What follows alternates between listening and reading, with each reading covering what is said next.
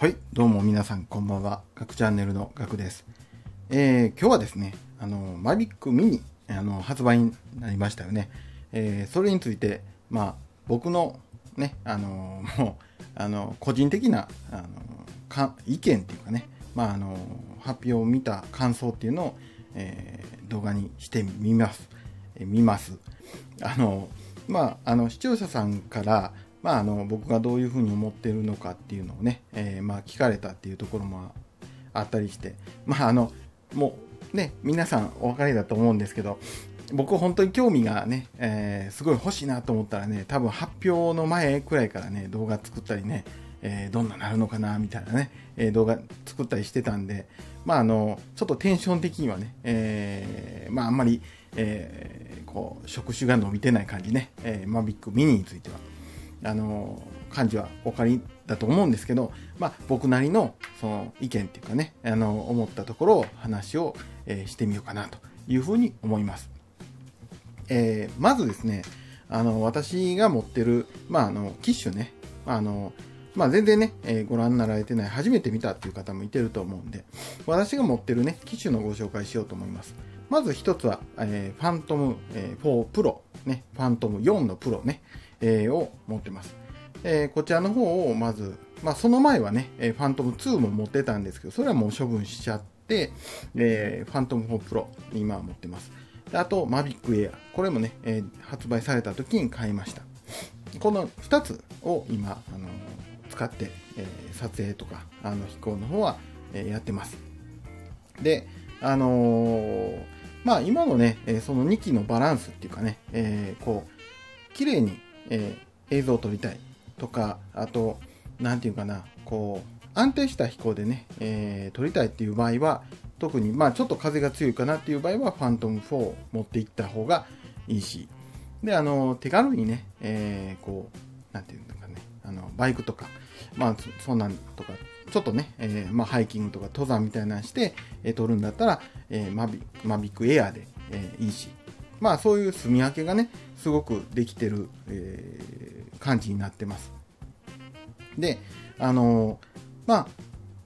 今ね、今の状態でも、ファントム4 Pro の方がやっぱり、えー、風はね、えー、風があるときはすごくやっぱ安定してくれてるんでね、マビックエアでも結構風の時、怪しい時があるんです。というところからちょっと話に行きますと、マビックミニね、えー、当然ながら機体のサイズは、えー、ちっちゃくで今回あのバッテリーのね、えー、時間を海外モデルと変えたみたいであの 200g 以下ということでね、え非常に素晴らしい機体ではあるんですけれども、あのやっぱりね、えその分、えモーター出力もちっちゃくなってますし、えプロペラとかのサイズ自体も、えちっちゃくなってると。で、さっきちょっとちらっと見てたんですけど、例えばですよ、えー、ファントム4 Pro の場合、えー、最大風圧抵抗っていうのが、えー、10メーター毎秒っていうことでね、えー、毎秒10メーターの風速でもある程度、まあ、その辺りまでやったらいけるよということだと思うんですけどね、これね。えー、で、マビックエアの方が最大風圧抵抗が、29から38、えー、こう最大風圧ってここはもうちょっと毎秒じゃなくなってるんだけどな、これ。29から 38km アワーになっちゃってるね。ちょっとなんかよくわからない。なんで単位を変えるのかがよくわからないですけど、えー、っと、うーん、ん？でも、そうね、同じような感じは書いてないよね。書いてないね。ごめんなさい、書いてないです。あのほんで、えっ、ー、と、マビックミニ見てみると、最大風圧抵抗っていうのは、これはまた毎秒になって8メーター毎秒、えー、になってます。で、えイメージとしてはさっきもお伝えしたように、ファントム4 Pro と、えー、マビックエアでかなりもう格段の差がやっぱり出ます。そこはね。当たり前ですけどね。だから、えー、さらにマビックエアよりもマビックミニは小型、出力もちっちゃいモーターを積んでる、えー、はずなんで、えそこら辺はやっぱりかなり、あのちょっとしんどいかなと。で、これね、当然風が強い時に、あのー、特に困るんですけど、えー、まあ、マビック、えー、ミニでもね、結構距離は飛ばせると思うんですよ。えー、っと、え高度は 3000m で距離がどこかな？うーんちょっとスペックねこれね DJI もなんかこうあのなんていうかな。なんでこうさっきもそうですけど単位を変えたりね書いてるところ統一してくれたらすっごい分かりやすいんだけどなんかねちょっといい加減なところがそういうとこどうなのって思っちゃうんですけど。えーとあれどこに書いてるのか伝送距離。えー、っと2キロかな？Wi-Fi 使ってて2キロだと思うね。2.4ギガ 2000m うん。ね電波回射とかない場合。ね。で2キロなんですけど結局、えー、風がちょっとあったりしてまあ当然ね地表と上空で全然、えー、風の状態も違いますし、えー、そんな場合ね機体が帰ってこれない場合があるんですよ。こう、え行きはいいですよ。行きはこう、えー、て言うかな追い風？追い風になってて。で帰りが当然向かい風になるような感じでで結局バッテリーがね予想以上に減ってと減ってっていうか、まあ、時間が帰ってくるのにかかって、えー、墜落っていうかね、えー、してしまったりとか。で特に日本の場合は飛ばすところがね、えー、ないですよね。あのこう広いこうなんていうかなあの DJI のこのオフィシャルなやつに出てくるようななんか広い砂漠みたいなんとかこうなんていうかななんかアメリカとかそんなね海外のところで撮ってるようなとこだったらまだ機体がね見つかるかもわかんないですけど日本の場合は大体山か、えー、それとも海かね。もう山の場合はそれ気合入れてね探しに行く人なんていうのもいてると思うんですけど、まあ、海の場合はもうほぼアウトですよね、えー、だからまずね、えー、そういうモーター出力の問題が一つ。ありますよねえ機体の問題ですよ。ね。で、えー、2つ目。ね。2つ目は、えー、僕が思うにね、あの、今、例えばこれ 200g 切ってますよ。切ってますけど、例えばこの機体を、えー、公園で飛ばしてましたってなった時に、多分ね、通報された警察すぐ来ると思うんですよ。で、来た時に当然警官だって航空法ちゃんと理解できてないし、で、そもそもその公園自体が条例とかで飛ばすのを禁止されてる場合もあるし。で、禁止されてない公園だったらまだセーフかもしれないけど、結局、例えば、そうですね、えー、誰か知らない人が持ってる山のところで勝手に飛ばしてたとか。か当然、所有者の許可を本来は得ないといけないのを得てなかったとか。今ね、だから、どうなのかわかんないんですけど、結構ね、ニュース沙汰になってるのは航空法違反のやつがニュースとかで結構出てます。あのー、まあ、それはね、当然、200g 以上の機体じゃないと、あんまりと、えー、なんていうかな、まともに飛ぶ飛ぶ機体があんまりないからっていうのはね、一番の理由だと思うんですけど、えー、まあそんな感じですね。だから航空法違反の方のニュースが結構なってますよね。だから、えー、勝手にね人の土地の上で飛ばしたっていうのは民法っていうか民事上のなんか訴訟を起こされたら問題になるっていうことになるんですかね。ちょっと僕もその辺りがよくわからないんですけど。まあでもどっちにしても多分通報されたりすると、えー、おそらくその現場の警官では、えー、対応できないから、えー、署までしょっぴかれる可能性ありますよね。警察署までね。で、まあ、最終的には解放されるかもしれないけど、そのまま。だけど、まあ、結構めんどくさい話になる可能性があると。で、これは 200g 切っててもね、多分一緒だと思うんですよ。だから、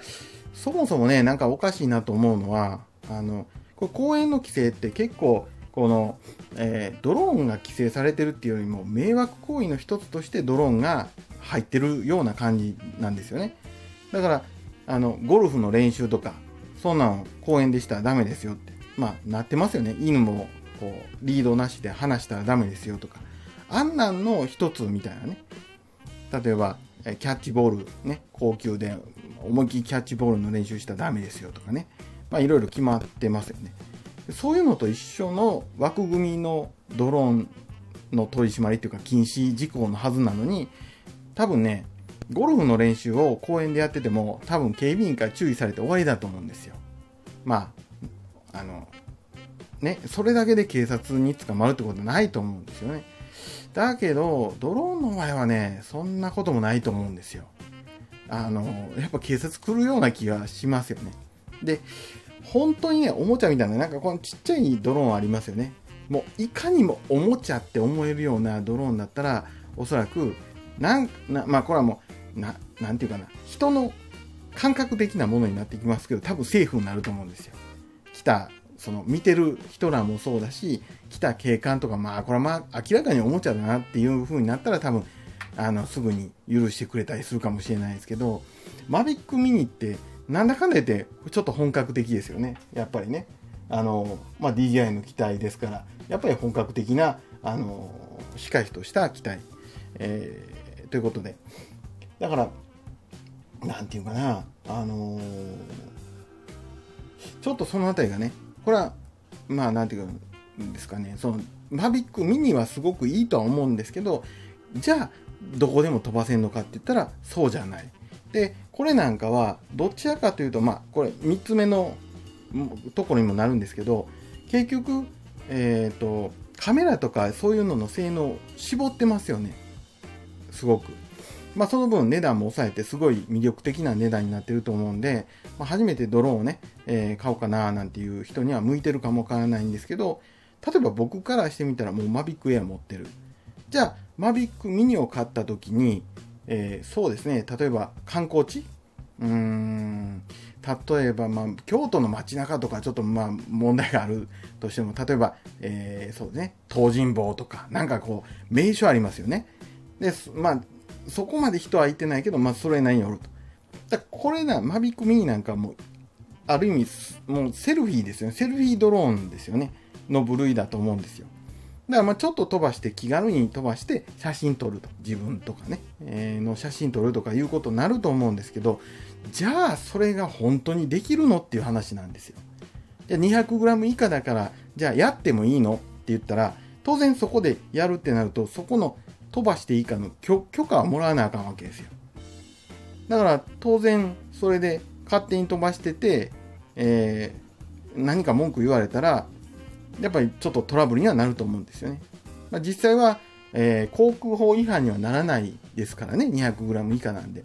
だけども、どうなのかな？なんか、条例とかで禁止されてたら当然、当然条例の違反にはなるでしょうし、まあ、そうじゃなくても他人の土地とかで管理してる土地で勝手に飛ばしてるっていうことで、なんかまあ、ややこしくはなるでしょうね。だから、あの、なんていうかな、まあそこまで簡単なものではないと思うんですよね。気軽に飛ばせないと思います。だから、まあそういうのね、まああの、ちょっとなんか、ニートさんがごっちゃになっちゃいましたけど、あの、そこら辺があって僕ね、マビックミニ、うーん、まあ、200g 以下になってすごく魅力的な機体、まあ、ドローン初心者にはすごくね、えー、魅力的な機体ではあるんですけど、じゃあ、まあ、持ってない人がこれ最初に買うんだったらまだいいかもわかんないですけどね。じゃあ、あの、もうすでに持ってるユーザーがこれを買う必要があるかって言ったら僕ちょっと疑問なんですよ。まあ持ってる機体にもよると思うんですけどね。まあそこら辺ですかね。で、例えばですよ。例えば、あの、ブンブン飛ばして操縦を楽しみたいっていうんだったら、レース用ドローンとかの方が全然楽しいと思うんですよ。おそらく。僕はちょっとあの操縦よりもどっちかというと撮影の方をしたい方なんで。で、例えば、レース用ドローンの方が操縦はね、ブンブンできるから、こんなんなんかセンサーいっぱいついてるから、逆に自由に飛ばせないわけですよ、機械制御で。まあ、その分安全ですけどね。あの、落とすっていうか、どっかに木とかにぶつける可能性だって、えー、低くなるわけですから。いいんですけど、あの、操縦する楽しさっていうのは、やっぱり失われるとこがあるわけですよ。あの S モードとかにすれば、まあ、それなりには飛びますけど、まあ、それは楽しいのは多分、あの、レース用ドローンとかの方が楽しいと思うんですよ。じゃあ、撮影の方どうなのってなってくると、うん、まあ、カメラが、とかが、やっぱり、ちょっと性能落ちちゃうっていうのを考えると、うん、まあ最初ね、えー、買うんだったらまあいいかもしれないけど、もうすでにね、えー、例えば 4K 画質で撮れるようなドローン持ってる場合だったら、まあそんなものいるのかなという感じはどうしても、えー、してしまうんですよね。だからうんまあそうね。まあ言ってることなんとなく分かります。あのちょっと僕かまあ僕の思うとこね。だから本当になんかマビックミニディスってるような感じになっちゃってますけどあのいい機体だとは思うんですけど、まあ、僕からすると魅力が感じられないということですね。はい、だから例えば、まあ、今からスパーク買う人はいてないと思うんですけど、えー、まあそスパーク買うんだったら当然マビックミニ選んだ方がいいと思うし、まあ、マビックエアーとの、うん、機体の選定だったら、まあ、微妙かな。うんスパークなんかでも結構ねやっぱ風には弱くて、まあ、とと飛ばしたりねしてるとこ見たりしましたけどやっぱり外でね、まあ、普通にブンブンある程度飛ばそうと思うとうんマビックエアでも僕ちょっと怪しいなっていう時がまあそこそこ飛ぶんですよマビックエアねだけどやっぱりちょっと怪しいなっていうとこあったんで、まあ、マビックエア以上のクラスは欲しいなという感じですね。だから僕、今2機種ね、えー、ファントム4プロと、えー、マビックエア持ってますけど、次ね、えー、何か刷新するときは、えー、今、マビック2が出てますよね。プロとズームね。だマビック3が出たら、もしかしたら2台も処分して1台にしちゃうかもしれない。だから、マビそういう意味ではね、あの、マビック、あの、プロとズームのあの、2ね、マビック2。あれは、すごくバランスが取れた、やっぱり機体だと思うんですね。持ち運びもできるし、まあ、それなりにこう、なんていうかな、あの安定した飛行もできるし、えー、しかもあの伝送もね、あのライトブリッジ使ってて、えー、結構安定したね、えー、こう画像が見れるし、うん、だからまああれがやっぱいいなと思いますよね。えー、ファントム4はいいんですけど、まあ、ファントム4の方が、まあ、僕友達があのマビックのね1の方ですけどねマビックプロ持ってるんですけどやっぱり操縦させてもらったりするとうん。まあ癖がありますよねやっぱりね、えー、僕はやっぱりファントム2の時もやってたんで、えー、ファントム4のあの一番ベタなねドローンのあれがやっぱり操縦しやすいですよね。あのいい。あれは。ただでかい。えー、っていうところがねありますよね。で、ちょっと話それちゃいましたけど、マビックミニね、あの、ということで、だから、皆さんね、本当に、今からね、いろいろ買おうと思ってる人もいっぱいいてると思うんで、悪い期待ではないんでね、全然そこら辺、えー、いろいろ何をやりたいかっていうことによって全然ね選ぶ選ぶ機種っていうのは変わると思うんですけど重々本当にこれだけは分かっておいてほしいのは 200g 以下だからどこでも飛ばせるという考え方だけはちょっと、えー、やめといてもらいたいと。あのあくまでも航空法の規制対象外にはなってますけどだからといってじゃあ見知らぬ人の土地とかどこでも公園とかそんなとこで飛ばせるとか観光地でブンブン飛ばせるとかそういうものではないのであの逆に高性能で安定もしてて、まあ、安易に飛ばす人が増えてくると、まあ、全体的にまたドローンの規制がまたそんなんで厳しくなるのも僕も嫌だし多分そんなんで捕まったりすることになった人も、えー、かわいそうだと思うし、えー、というところが一番重要なポイントかなと思います。まあそういうの分かった上でね、えー、まあ 200g 以下のこういう機体買うのか、まあ 200g 以上で、えー、もっと高高性能っていうかね、えー、風が強い時でも飛ばせる安定しているような、ね、あの機種を選ぶのかっていうのはね、えよく考えてもらったらいいかなと思います。値段安いんでね、まあ、安いっていうのも高いですけど、あの、この性能でこの値段っていうのはね、かなりすごいなと思いますけど、あの、うん、まあ、そういうことですね。はい。ということで、まあ、ベラベラ僕が思うところちょっと話してみましたけど、特にね、あの、機能的なものはもう見てもらったらね、えー、わかると思うんで特に触れてませんけど、まあ、ほぼね、えー、要するに Mavic Air とか、あの上位クラスの撮影モードとかがそのまま使えるような感じでね落ちてきてるんで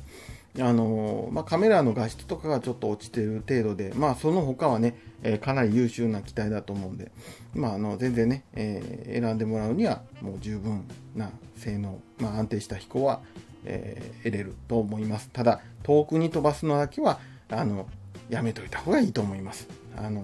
本当に、えー、なくしちゃうと思うんで。はい。ということで、えー、まあ、ベラベラ本当に、えー、またね、雑談みたいな感じで話しちゃいましたけど、ちょっとでも参考になってるんでしょうかね。僕の話が いつも不安なんですけどね。はい。ということで、今日はこの辺で指定しようと思います。また何かね、えご意見とかありましたら、コメント欄の方よろしくお願いします。そしたら今日はこの辺で指定します。さよなら。